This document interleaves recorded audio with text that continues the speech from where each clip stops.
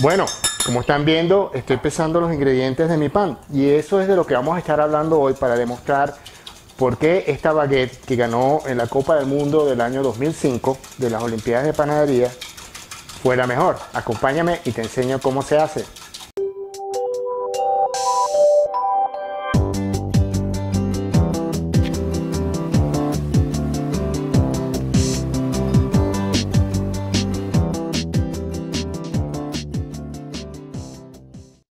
Hola, soy Chef Laszlo Rey de mirecetadepan.com y hoy vamos a hablar de la baguette que ganó el Campeonato Mundial de Panadería en el año 2005, cuya receta está publicada. Este, sabemos que la panadería es la ciencia que combina la fermentación biológica, la, la química de los ingredientes y la física de los procesos de producción, de panificación. Y lo que hace esta baguette que haya ganado las Olimpiadas, como quien dice, no tiene que ver con la receta que tengo acá, sino tiene que ver con el proceso y con el control de todos los aspectos del proceso. Entonces, hoy vamos a estar hablando de tres computadoras que el panadero utiliza para hacer el mejor pan. Y es que el panadero no solamente tiene que ser muy alto en conocimientos de todas estas cosas, sino tiene que ser muy preciso. Y para lograr controlar todos los aspectos del proceso de fermentación, necesitamos tres cosas, como había mencionado bueno, una es una balanza y puede ser una balanza mecánica o una balanza digital, pero incluso mi abuelita que hacía panes a principios de los 1900 tenía una balanza de esas con pesitas de cobre que pedían, medían hasta un gramo y eso lo tenía para ser precisa. El otro aspecto tiene que ver con los termómetros. En todas las recetas de panadería profesionales, como las que publicamos en mi receta de pan, tenemos todos los ingredientes en gramos, y adicionalmente en porcentajes de panadería. Y adicionalmente tenemos todos los procesos en tiempo y en temperatura. Yo siempre digo, vamos a fermentar por 2 horas a 25 grados centígrados. Bueno, eso son 2 horas, un reloj, que es el tercer instrumento importante, a 25 grados centígrados y no a cualquier temperatura. Y si nosotros somos precisos en nuestro proceso, podemos replicar un pan que es como debió haber sido entonces no tiene que ver básica tanto con los componentes de la receta, sino tiene que ver con la precisión en que la receta está ejecutada. Y voy a hablar de dos cositas nada más acá que influyen e, efectivamente en el no usar estos instrumentos. La primera tiene que ver con la balanza. Vamos a suponer que mi receta dice 350 gramos de harina. Y yo, como no tengo una balanza, yo pongo 400 gramos, o pongo 300, o 320, o 380. Entonces yo más o menos viendo lo que el profesor tiene ahí, pues yo pongo esa cantidad. Bueno, ¿qué va a pasar? Que para la cantidad de agua que hay en la receta, uno va a terminar echándole más harina o más agua. El resultado es que como todos los ingredientes están calculados en función de la harina, pues la receta final va a ser diferente. Otro ejemplo, el del azúcar. Supongamos que nosotros estamos agregando que tiene, esta receta no tiene azúcar, pero vamos a suponer una receta que tiene 50 gramos de azúcar y yo le pongo 80 gramos de azúcar. Bueno, nosotros tenemos que entender que el azúcar va a cambiar la maleabilidad y la hidratación de la masa, pero adicionalmente, mientras más azúcar echemos, más levadura va a necesitar para poder hacer proceso de fermentación, que de paso, el proceso de fermentación de ese pan, digamos que son 90 minutos a 24 grados centígrados, entonces como yo tengo más azúcar y tengo menos levadura, entonces ahorita voy a tener que fermentar por dos horas, pero yo eso no lo sé. Entonces el pan resultante no va a salir igual. En cuanto a temperatura, lo mismo ocurre. Vamos a suponer que la fermentación tiene que ser a 25 grados centígrados, pero yo lo estoy fermentando a 22,5, que es un 10% menos nada más. Y la receta dice, tengo que fermentar por dos horas. Bueno, si yo fermento por dos horas a 22,5 y que es un 10% menos de temperatura, probablemente mi FMA va a requerir un 20% más de tiempo de fermentación, pero eso yo no lo sé. Y yo voy a cortar mi masa a las dos horas y resulta que mi masa no está bien fermentada, porque la temperatura no influye proporcionalmente al tiempo. Igual al, contrario, si nosotros en vez de fermentar a 25, fermentamos a 30, a 30 grados, que es un 20% más de tiempo, y lo fermentamos a dos horas, esa masa me va a quedar ácida. Porque a dos horas, a 30 grados centígrados, se va a generar demasiado ácido acético y la masa va a quedar ácida. Entonces, este, ¿cuánto debemos fermentar a 30 grados? Bueno, realmente nada, porque eso genera ácido, esa temperatura es muy alta. Pero si vamos a generar a 30 y vamos a, podemos reducir a una hora, todavía no sabemos si realmente la masa está fermentada o no. Y ahora, y sin más preámbulo, veamos la receta en la pantalla.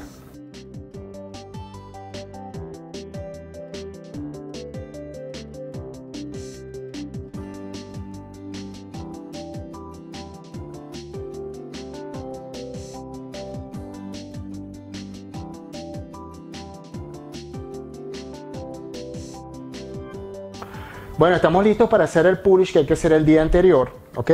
Y ya yo tengo el mío que lo hice ayer, pero fíjense, vamos a hacerlo ahorita. Aquí tengo 165 gramos de agua, 165 gramos de harina que están perfectamente pesadas y necesito 0,15 gramos de levadura. Ahora, mi balanza solamente pesa a un grado de eh, precisión.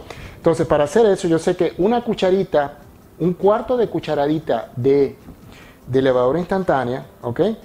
Pesa aproximadamente un gramo un poquito menos de un gramo de levadura instantánea. Yo necesito nada más la décima parte de esta cantidad. la décima parte de esta cantidad se hace al ojo y es más o menos eso. Entonces básicamente mezclamos, disolvemos.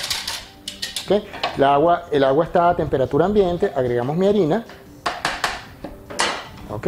Y creamos una masa que esta es una de las masas madres que aunque no se ve líquida en este momento, después cuando se llene de aire va a ser bastante líquida, ¿ok? Porque tiene la misma cantidad de agua que harina.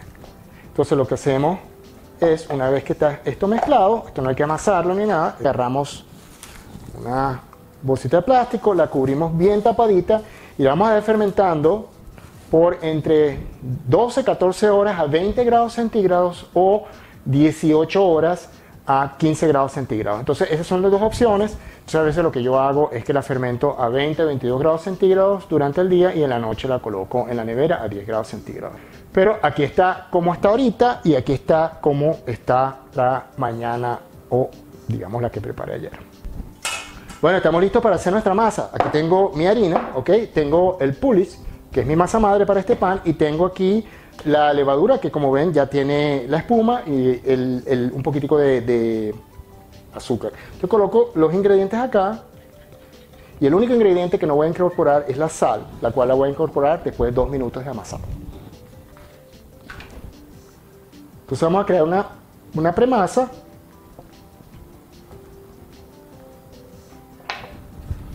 Bueno, entonces vamos a amasar ahorita unos dos minutos.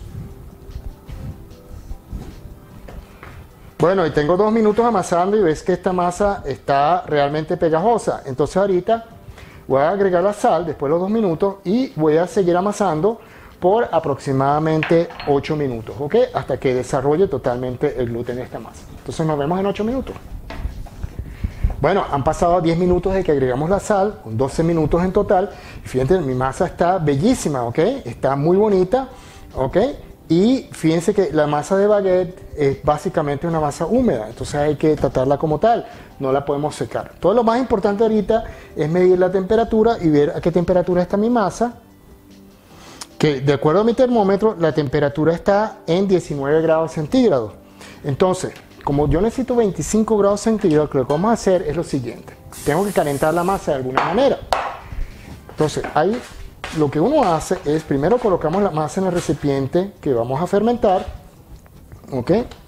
Colocamos un poquito de aceite por arriba también para que no se nos pegue. Lo cubrimos muy bien. Y entonces, mi masa la tengo que subir a 25 grados centígrados durante esas dos horas de fermentación y lo más rápido posible es lo mejor.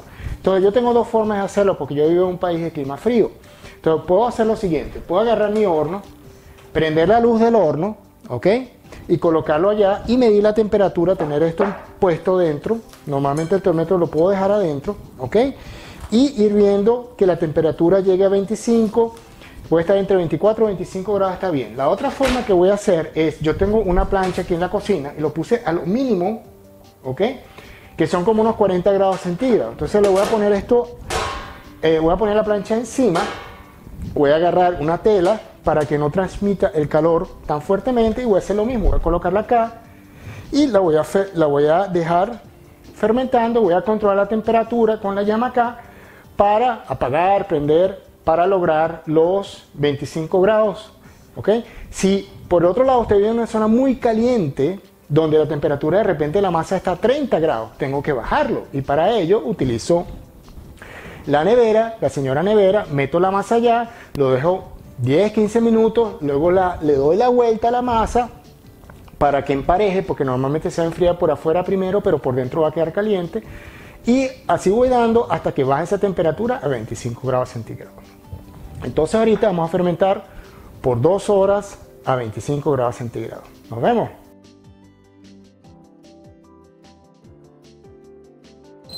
Bueno, ya han pasado una hora, que es la mitad de la fermentación, y lo tengo en 25 grados exactamente la masa. Entonces, una hora lo que se hace es algo que se llama manipulación, que es la siguiente. Para esta baguette, vamos a simplemente vamos a agarrar la masa, la vamos a estirar y la vamos a pinchar hacia el medio. Luego agarramos las otras dos puntas y hacemos lo mismo, ¿ok? Y luego la volteamos básicamente le sacamos todo el aire.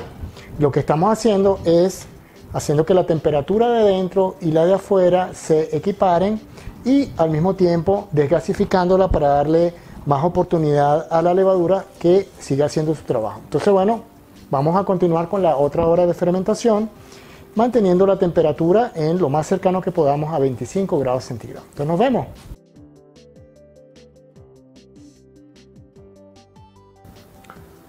Bueno, han pasado dos horas y la fermentación quedó perfecta. Y esta, fíjense la masa que bella está, cómo se estira. Mmm, excelente. Entonces vamos a usar un poquitico de harina y vamos a dividir la masa en tres piezas de 275 gramos. Entonces lo que hay que hacer es algo muy simple ahorita. Como vamos a hacer unas barras, ¿ok? Hay un proceso de preformado y el proceso preformado es básicamente sacar el aire y enrollar mi masa, ¿ok? Colocarla de esta manera. Bueno, vamos a sacar el aire.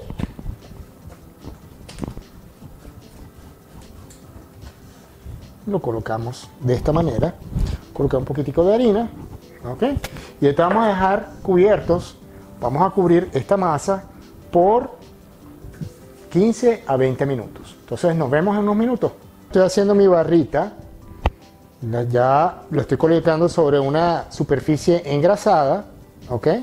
Con aceite o margarina. Básicamente el proceso es muy simple. Colocamos un poquito de harina sobre la mesa y el lado bonito va a ir hacia abajo, ¿ok? Y le sacamos todo el aire.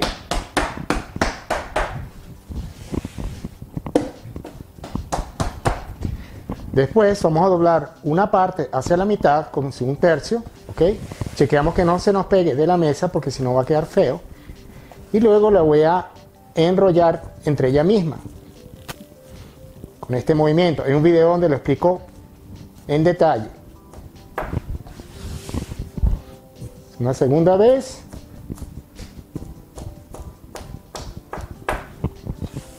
Y finalmente una última vez.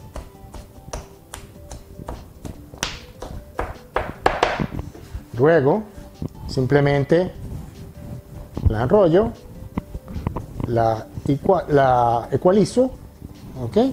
Saco punta si yo quiero, cuestión de estética, y con el lado del cierre hacia abajo. ¿Ok? Así como está. Fíjense qué bonitas están. Y esta la voy a cubrir. Y vamos a dejar fermentando por una hora a los mismos 25 grados centígrados cubiertica. Bueno, ha pasado una hora y mis baguettes están listas para meterlas en el horno. Entonces ahorita le voy a hacer los cortes. Le hago cinco cortes. Los cortes son más a lo largo y con la hojilla inclinada.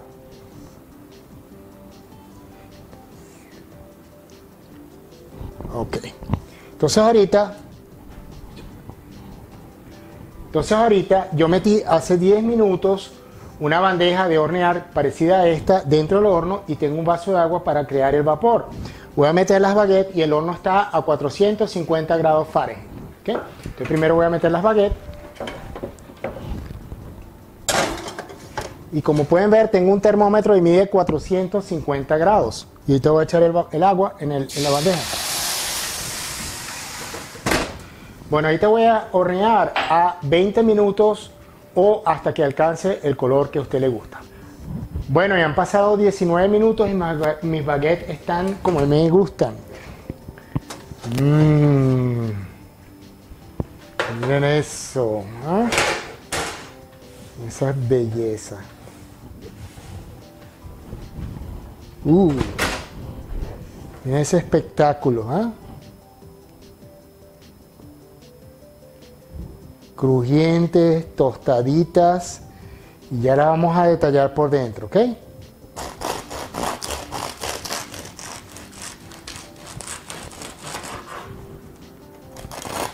Ah, mm. Mm, huele como a mantequilla. Espectacular esta baguette. Tiene los huecos más grandes que una baguette normal, como se pueden ver acá. ¿okay? Este, tiene una concha, bueno, crujiente, es tostado, sabe como a nuez, es, es realmente un espectáculo. Pero hoy no quiero hablar del pan, hoy quiero hablar de lo que vinimos a hacer, que es cómo se logra un pan con esta calidad y es siguiendo la receta en su totalidad, que quiere decir no solamente pesar los ingredientes correctamente con una balanza, ¿ok? Y puede ser una balanza de esas de plástico mecánicas que funciona perfectamente, pero adicionalmente tenemos que usar los termómetros y tengo un termómetro aquí que puedo meter dentro del pan y puedo, él me va diciendo cuál es la temperatura, no solamente cuando lo voy horneando, sino también durante el amasado, como lo vimos. Tengo un termómetro, estos son muy económicos, que se meten dentro del horno y sirven para ver si la temperatura que hay adentro es realmente la que el horno dice. Que a veces que uno dice, oye, horno de 30 minutos, saqué el pan, estaba blanco. Bueno, pero es que tú, tú no sabes si tu horno está a la temperatura que es. Y esto también es muy parecido a este otro, pero es simplemente más mecánico. Y finalmente el reloj. El reloj es fundamental porque en panadería todo lo hacemos en función de tiempos de fermentación con una temperatura adecuada y todo lo pesamos y así es como se hace panadilla. Entonces la diferencia entre este pan y una baguette normal o en este pan y los otros competidores que no ganaron y probablemente habrán tenido una receta muy parecida, no estaba en los ingredientes en sí, sino yo diría más bien en respetar el proceso y llevarlo bajo control como se debería hacer. Bueno, espero que les haya gustado y que hagan esto en todos los panes y que este pan haya servido como un buen ejemplo de cómo es el proceso completo, que a veces yo no lo muestro en su detalle porque hace que el video sea muy largo. Soy Chef Flash Ray de mi receta de pan.com y bueno, será hasta un próximo video que viene. Muchas gracias y buenas noches.